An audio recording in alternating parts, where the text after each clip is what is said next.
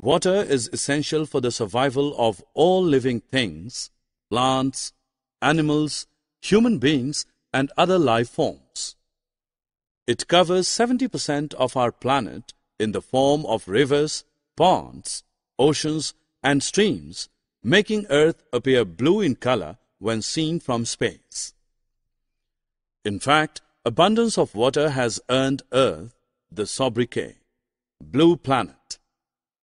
Water is tasteless, odorless, and colorless. It dissolves many substances. So it is known as the universal solvent. It exists in nature in three states, that is, solid, liquid, and gas. In solid form, water is known as ice or snow. In gaseous form, water is known as water vapor or steam.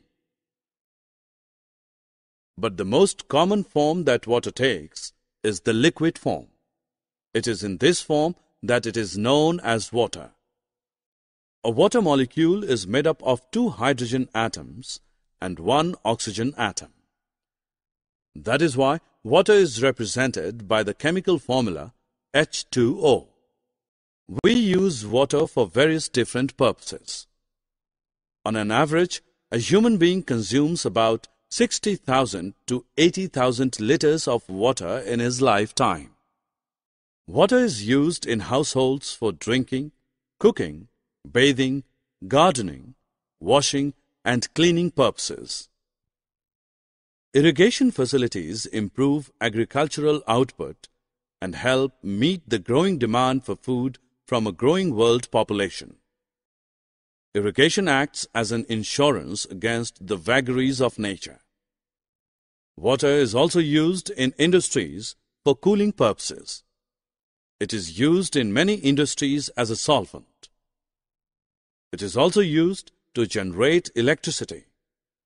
Besides, recreational activities such as swimming, fishing, sailing, and other water sports require water.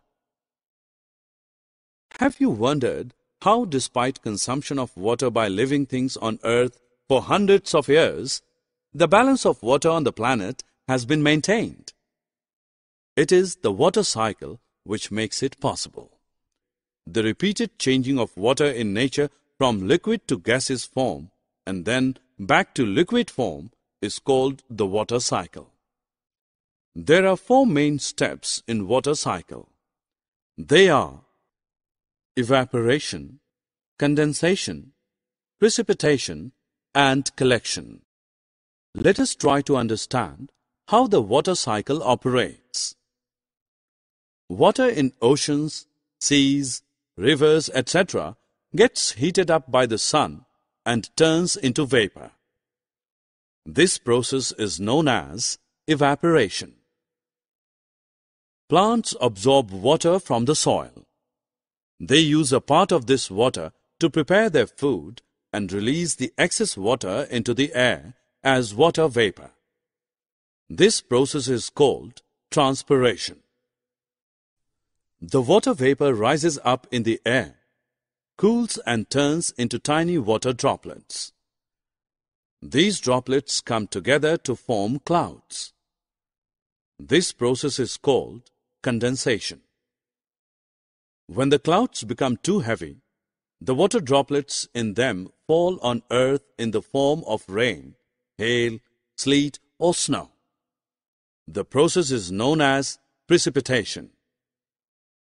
The water received by earth as rain, hail, or snow goes into the oceans, seas, rivers, and lakes.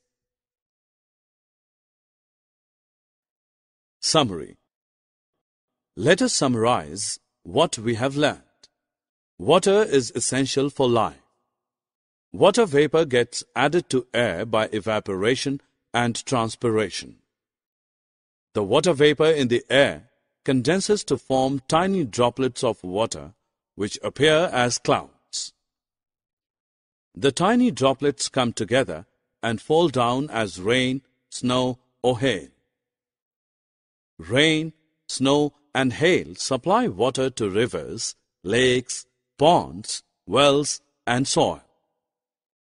The water cycle is a natural process of circulation of water from the land to the sky and back to the land again.